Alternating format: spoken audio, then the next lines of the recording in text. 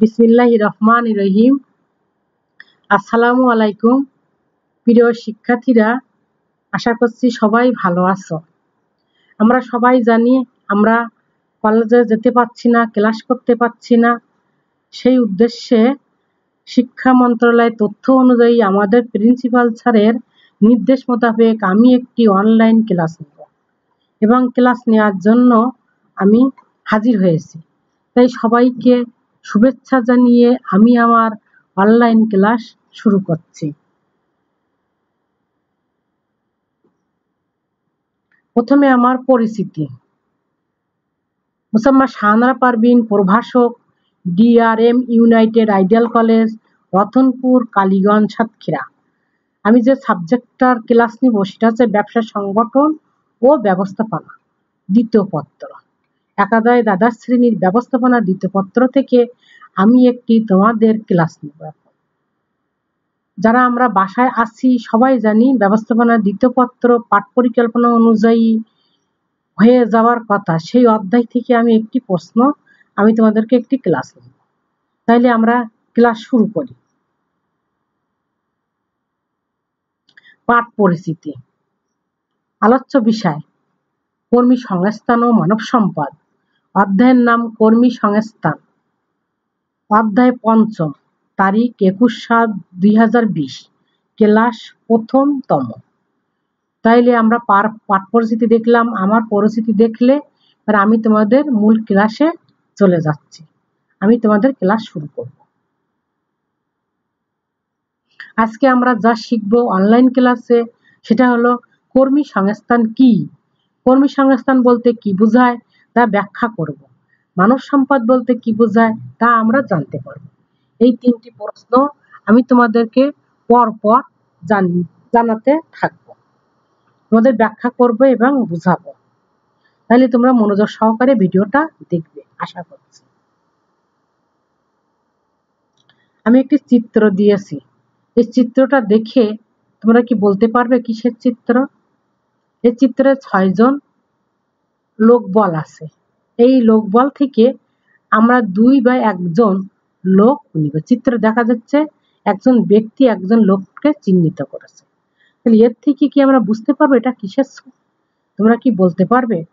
কলেজের যে পাঠ পরিকল্পনা আছে, সেটা যদি তোমরা এই করোনা কালে চার মাস বাসায় তোমরা দেখে থাকো, তাহলে বুঝতে পারবে, সে অনুযায়ী পড়ে থাকো, তাহলে বুঝতে পারবে যে এই চিত্রটা কিসের?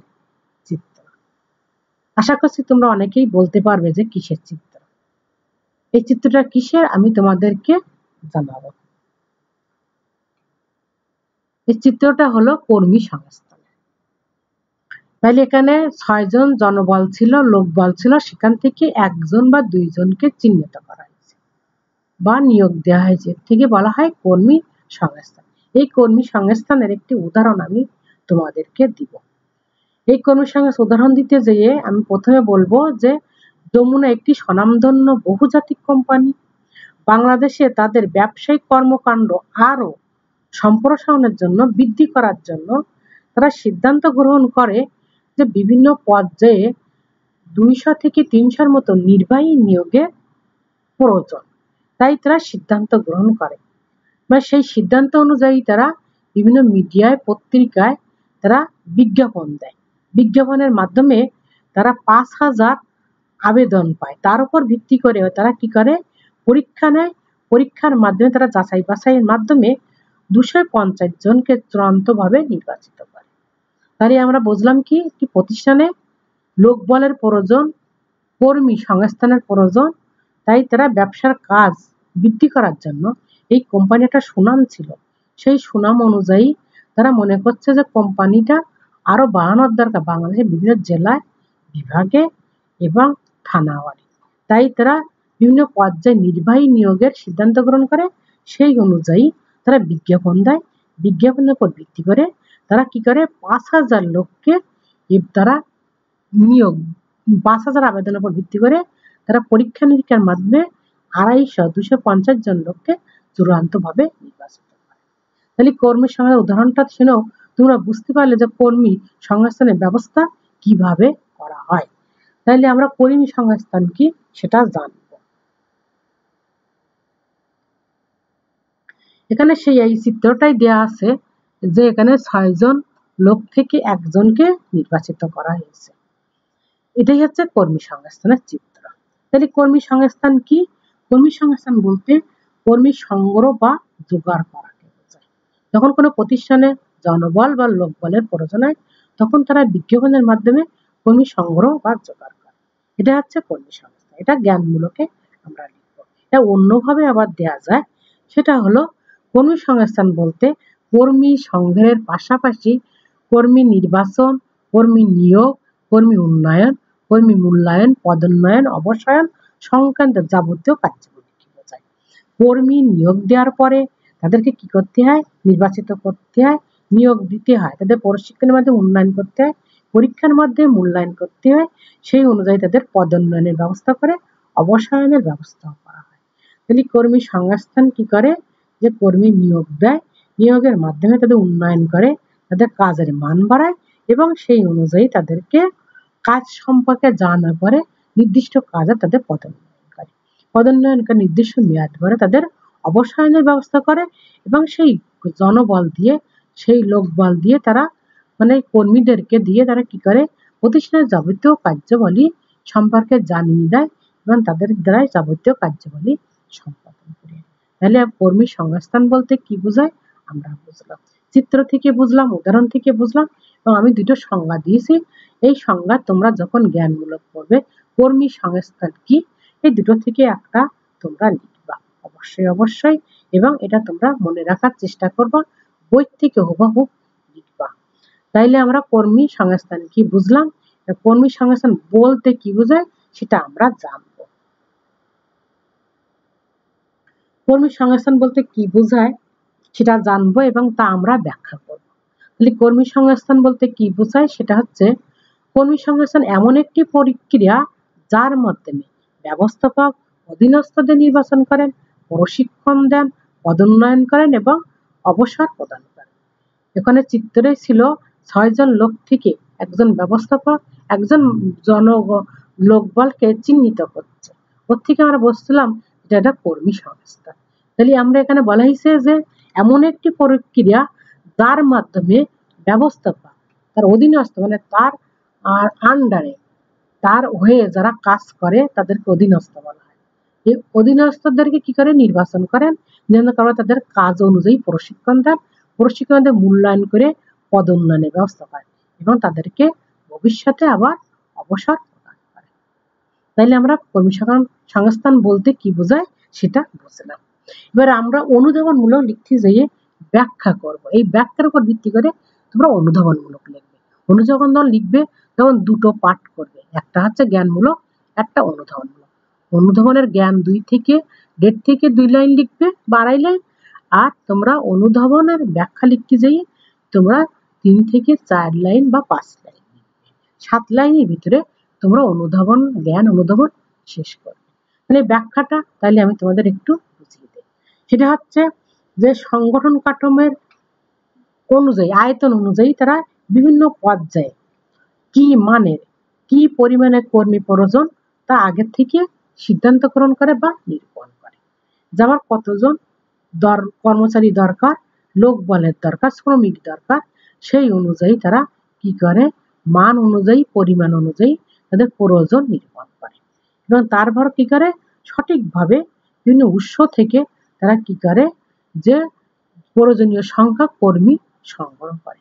এবার এই সংগ্রহ করার পরে সংগৃহীত কর্মী থেকে তারা কি করে? বিভিন্ন যাচাই বাছাইয়ের মাধ্যমে যোগ্য কর্মীকে যোগ্য শ্রমিককে তারা কি করে? নিয়োগ দেয়। তাই তারা কি করল? সংগঠনের কাঠামো অনুযায়ী, আয়তন অনুযায়ী তারা সম্প্রসারণের জন্য কি মানের প্রয়োজন, কি পরিমাণ প্রয়োজন নিরূপণ করে এবং সেই অনুযায়ী তারা কি করে? যে সঠিক জায়গা থেকে প্রয়োজন সংখ্যা কর্মী সংগ্রহ করার ব্যবস্থা করে। এবং সংগ্রহ করার পরে তারা বিভিন্নভাবে যাচাই বাছাই করে এবং যোগ্যদেরকে নির্বাচন করে। নির্বাচন করার পরে তারা নিয়োগ দেয়। এই নিয়োগের পরে যোগ্য কর্মীকে নিয়োগ দেওয়ার পরে তাদের উপযুক্ততা যাচাই করে যথাস্থানে কাজে লাগানোর ব্যবস্থা করে। এই কাজে লাগানোর ব্যবস্থা করার আগে তারা কি করে? প্রশিক্ষণের ব্যবস্থা করে। তাদের কাজের দক্ষতা বৃদ্ধি করার জন্য। যে শ্রমিক কাজ করবে, যে কর্মী কাজ করবে, সে কাজ অনুযায়ী যে তার দক্ষ এবং যোগ্য নয়, তাহলে তো সে কাজ করতে পারবে না। তাই তাদের কি করা হয়? উপযোগ যাচাই করার পরে প্রতিষ্ঠানের সামর্থ্য, কর্মীদের প্রয়োজন বিবেচনা করে উপযুক্ত বেতন কাঠামো নির্ধারণ করে এবং কাঠামো নির্ধারণ করে তাদের উন্নয়নের জন্য প্রশিক্ষণের আবার ব্যবস্থা করে এবং পদোন্নতির ব্যবস্থা করে করার পর তাদের অবসর ও অব্যাহতির ব্যবস্থা করে। তাহলে আমরা কি বুঝলাম? যে কর্মী সংস্থান কি এবং কর্মী সংস্থানের ব্যাখ্যা।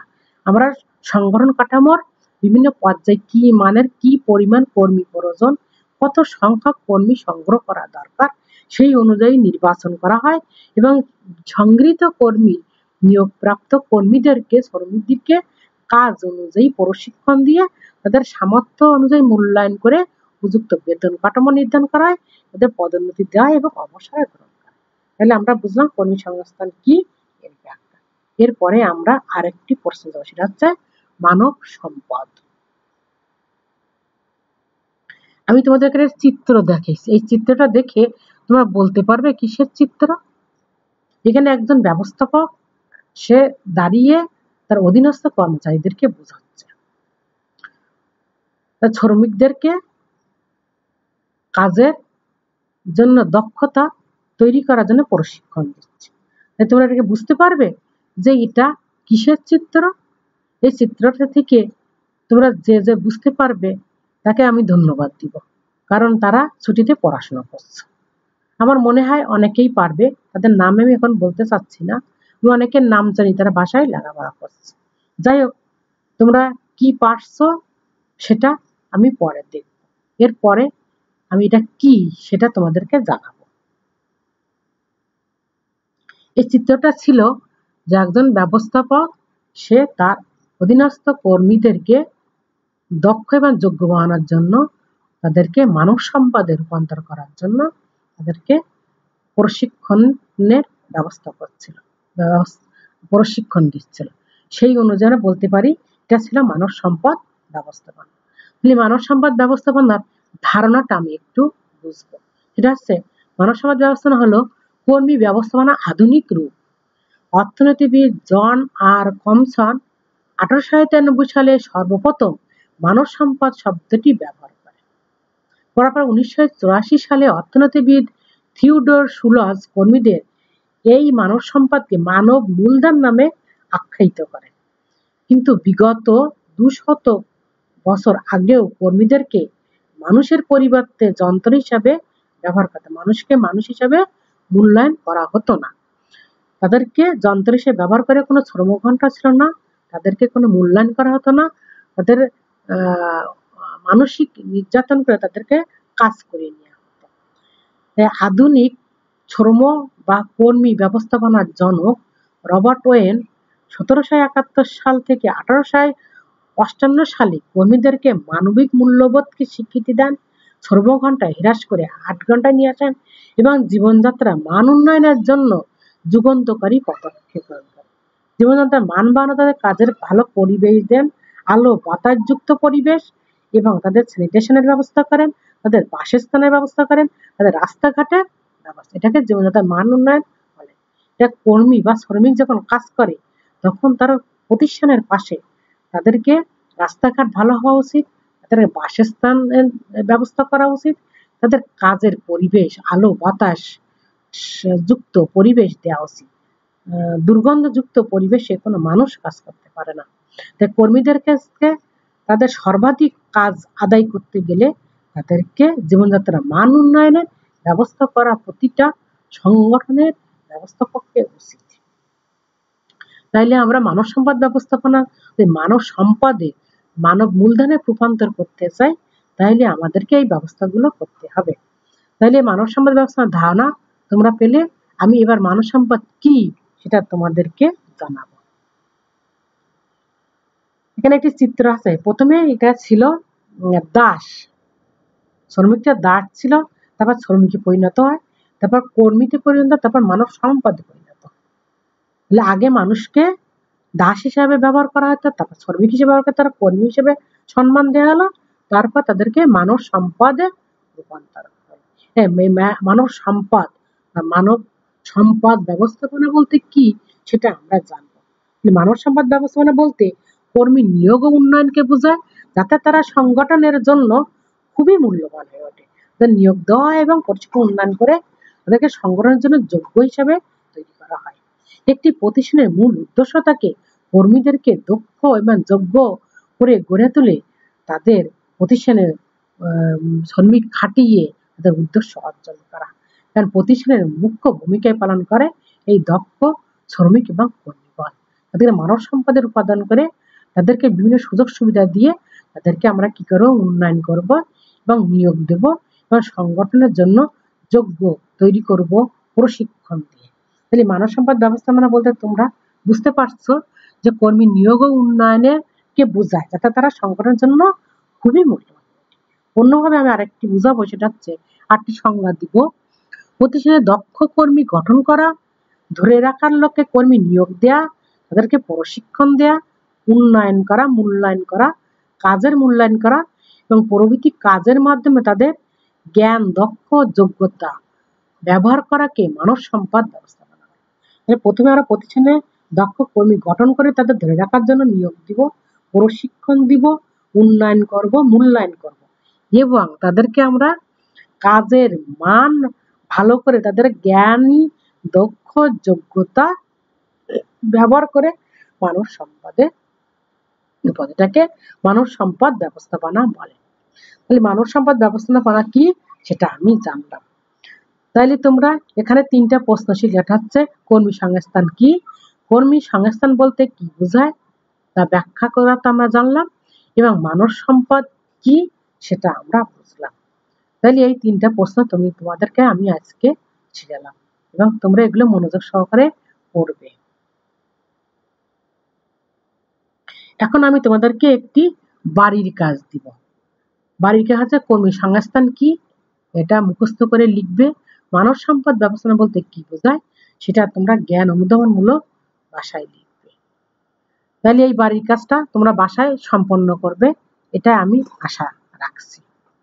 এবং তোমরা কমেন্টস করবে, আমার কোথায় ত্রুটি থাকলে সেটা সবাইকে আমি আবারও পাওনা থেকে ভালো থাকার জন্য, স্বাস্থ্যবিধি মেনে চলার জন্য অনুরোধ করছি। দরকার না হলে কেউ বাড়ির বাইরে যাব না। আমরা বাসায় থাকব। নিজেদেরকে ভালো রাখার চেষ্টা করব। এই আশা ব্যক্ত করে সবাইকে আমি